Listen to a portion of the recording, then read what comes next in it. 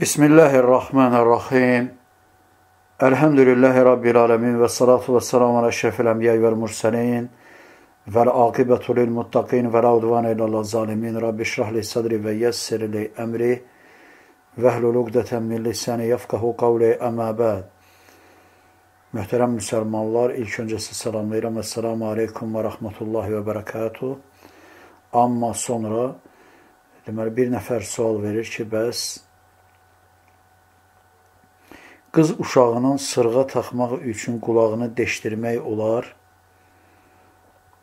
Hə, qız uşağını ümumiyyətlə qulağına sırğa taxmaq üçün deşmək olarmı? Bəli, olar. Bu barədə hədislər vardır.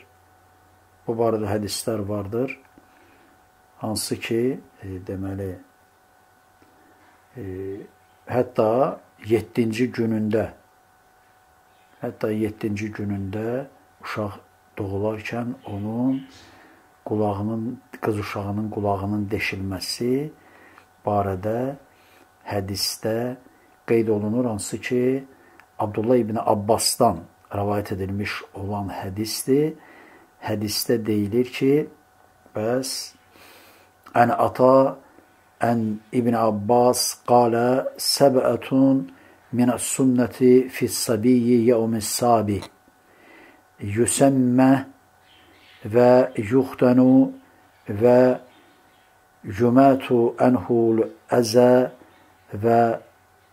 وتسقب أذنه ويؤق أنه ويهلق راسه ويلتخ بدم أكيجته ويتصدق بوزن شعاره في رأسه ذهبا أو فدة فلم يروي هذا الحديث عن عبد الملك إلا ravadun və bu hədisi deməli bu hədis hansı ki Abdullah ibn Abbasdan rivayet edilmişdir.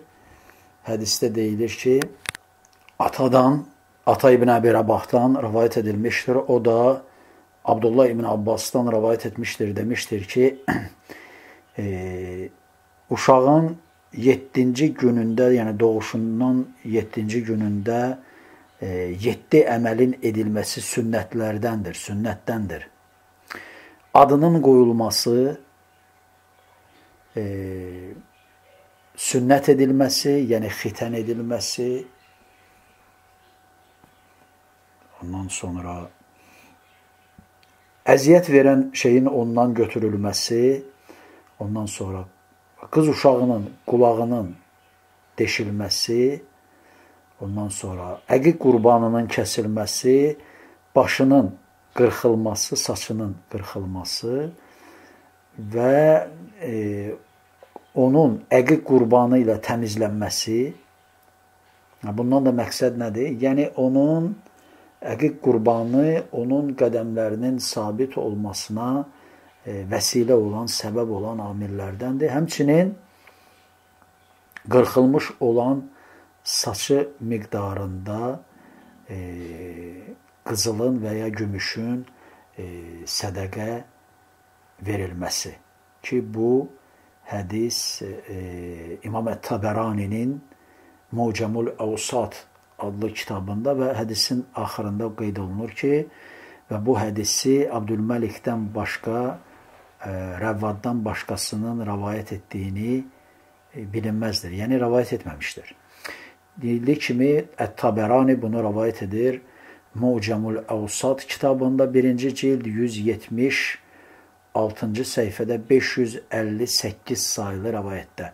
Həmçinin qadınların, yəni qız uşaqlarının, ümumiyyətlə qadınların qulaqlarına belə deyək, deşib sırğa taxmasına dəlalət təşkil edən hədislərdən e, bu barədə e, həm Həzrət Ayşədən, həmçinin Abdullah ibn Abbasdan başqa bir hədis hansı ki İmam Əl-Buxari rivayet etmişdir. Hədisdə deyilir ki, müxtəsər qeyd edəcəyim uzun bir hədis. Hədisdə deyilir ki, e, deməli deməli atadan, həmçinin atadan rivayet edilmişdir.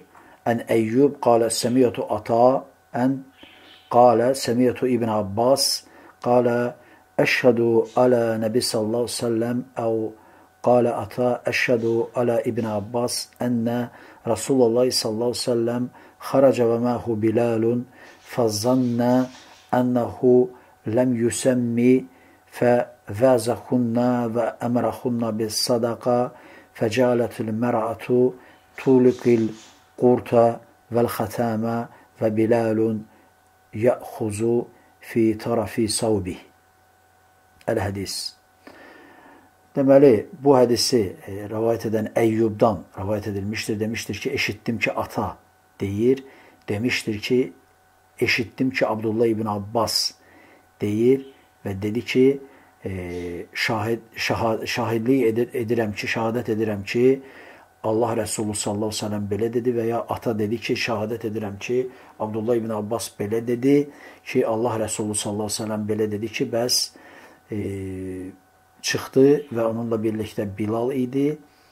Yəni ehtimalən evindən çıxdı və e, elə zənn etdi ki, onu heç kim eşitmir və qadınlara e, vəz verdi, möyüzə verdi və onlara e, sədaqə vermələrini əmr etdi.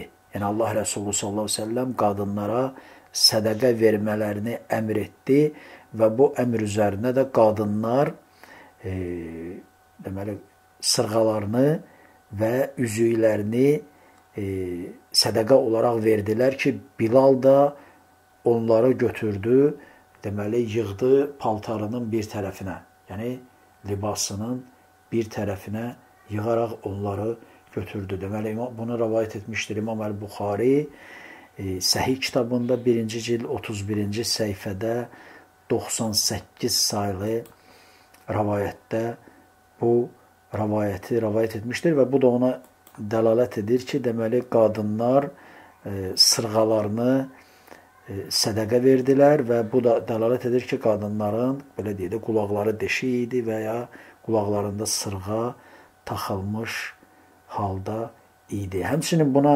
dəlalət edən hədislərdən deyildiyi kimi e, Həzrət Ayşə radiyallahu anhadan rəvayət edilmiş olan hədisdə ki, Ümmü Zər'adan Ümmü Zər'anın hədisində qeyd olunur ki, burada müxtəsər gətirilir e, və deyilir ki, hədisdə e, ənəsə min hulliyin uzuni ki, burada yəni insanlar ki, hansılar ki, e, qulaqlarında, yəni qulaqlarında sırğalar ilə bəzənmişdilər, belə deyək.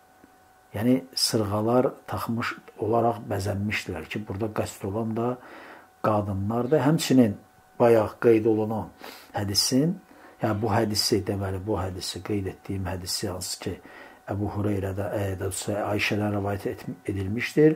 Bu hədisi İmam Əl-Buxari rivayet etmişdir.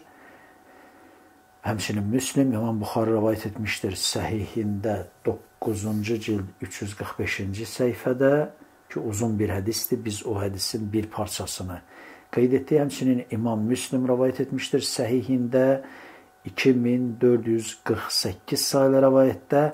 Həmçinin İmam Əl-Buxarı və Müslimin rivayet etdiyi, səhihində rivayet etdiyi başqa bir hədisdə orada deyilir ki, müxtəsər olaraq gətirəcəm ki, deyildiyi kimi ki, orada e, Allah Rəsulu qadınlara sədəqə vermələrini əmr edir. Orada hədisin ləfsində gəlir ki, ləmmə harrada Nəbi sallallahu əleyhi və səlləm nisaa alə sadaqa cuilat mar'a e, tulqiya xursaha xursaha el-hədis.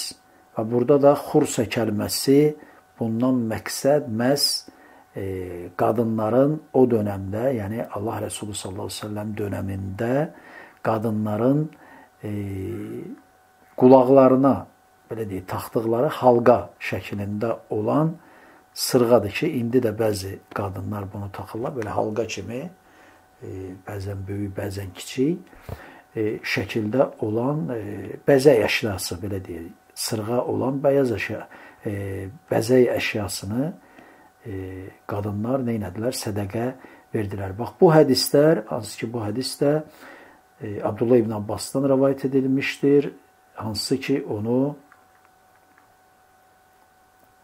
deyildiyi kimi İmam Əl-Buxari və Müslim rivayet etmişdir səhih kitablarında və bütün bu hədislər ona dəlalət edir ki, yekun olaraq e, ki, qadına, qız uşaqlarına, ümumiyyətlə qadınlara e, sırğa taxılması və onların qulaqlarının deşilməsi caizdir və heç bir problem yoxdur. E, bax bu qədər müxtəsər Allah bilir. Esselamu aleykum və rəhmətullahi və bərəkatuhu.